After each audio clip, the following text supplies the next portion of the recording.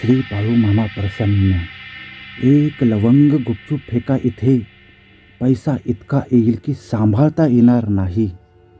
होय एक लवंग गुपचूप फेका इथे. पैसा इतका येईल की सांभाळता येणार नाही. विश्वास ठेवा अगर ठेवू नका. मात्र अमोशीच्या रात्री केलेले उपाय हे शीघ्र फलदायी असतात. हे उपाय केल्यानंतर ताबडतोब त्याचा प्रभाव दिसून येतो. आणि हिंदू धर्मशास्त्रानुसार अमोशिलेला केलेले उपाय कधीच निष्फळ होत नाहीत. म्हणजे या अमोशेच्या रात्री केलेले उपाय त्यामुळे फळ हे मिळणारच आहे. मात्र हे फळ मिळण्यासाठी काही नियमांचे पालन करणे गरजेचे असते. हा उपाय केल्यामुळे तुम्हाला कोणीही रोखू शकणार नाही. श्रीमंत होण्यापासून. तर मग चला जाणून घेऊया हा उपाय कसा करायचा आहे.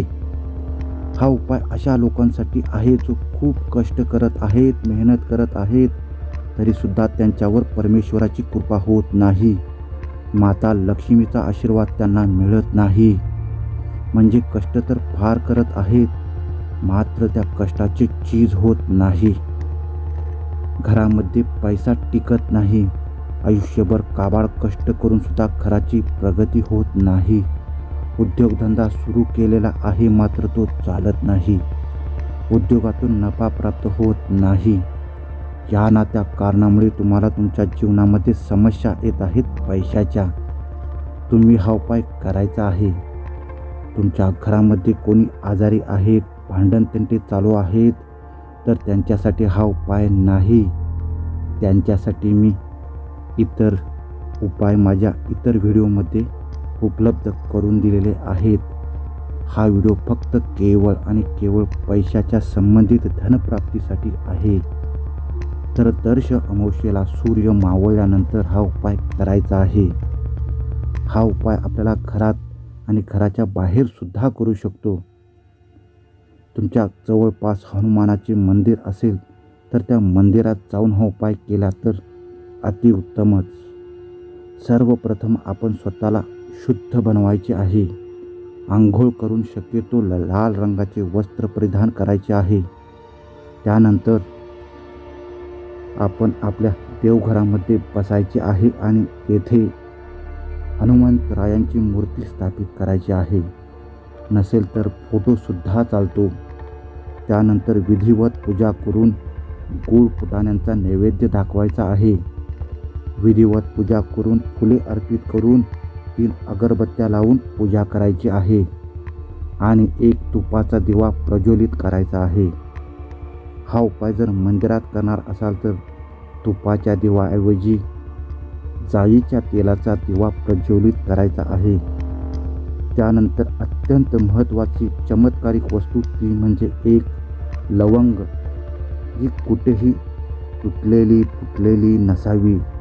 जिला फूल असावे अशा प्रकारची अखंड लवंग घेऊन ती तुमच्या दिव्यामध्ये किंवा जाईच्या दिव्यामध्ये टाकायची आहे आणि दिवा प्रज्वलित करायचा आहे. त्यानंतर जय श्रीराम जय श्रीराम हा मंत्र एकशे आठ वेळा करायचा आहे. न थांबता हा जप एकशे आठ वेळा करायचा आहे. त्यामध्ये कोणताही अडथळा येता कामा नये. त्यानंतर हनुमान चालिसाचे पठण एक वेळा करायचे आहे. हनुमान चालिसाचे पठण करताना एकाग्रतेने मनामध्ये कोणतेही वाईट विचार न आणता अगदी शुद्ध भावनेने आपण करायचे आहे. त्यानंतर आपण जो लवंग टाकून दिवा प्रज्वलित केला आहे तो दिवा ओवाळून हनुमंतरायांची आरती करायची आहे. एकदाच करायची आहे. एवढंच आपल्याला करायचे आहे.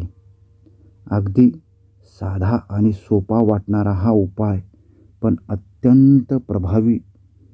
दर्श अमोशेला ज्यापासून तात्काळ आपणास प्रभाव प्राप्त होतो तात्काळ आपणास फलदायी प्राप्त होते असा हा शीघ्र धनप्राप्तीचा उपाय केल्यामुळे शंभर टक्के आणि शंभर टक्के तात्काळ प्रभाव जाणवतो. त्यामुळे तुम्ही सर्वांनी हा उपाय नक्की करा. आम्ही कमेंट करून आवर्जून सांगा.